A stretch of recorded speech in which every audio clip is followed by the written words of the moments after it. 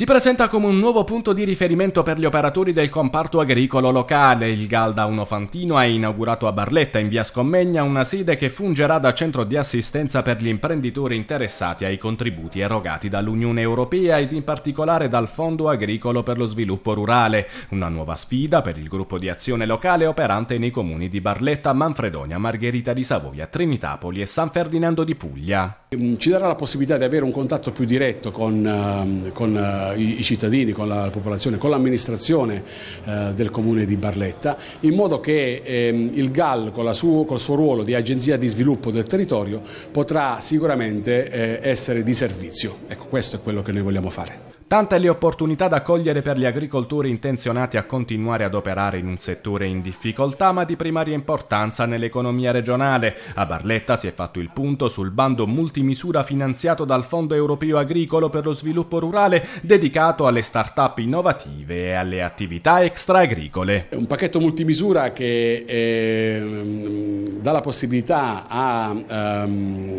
a singoli soggetti, a nuovi imprenditori di potersi affacciare il campo appunto delle, delle nuove attività perché si tratta di start-up per poter eh, avviare attività um, nei settori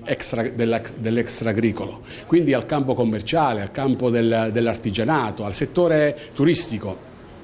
al settore sociale, eh, possibilità di poter ehm, fare investimenti fino, eh, con progetti che vengono presentati con investimenti fino a un massimo di 100.000 euro, eh, in cui eh, c'è un finanziamento di, del 50% di quello che si prevede di realizzare,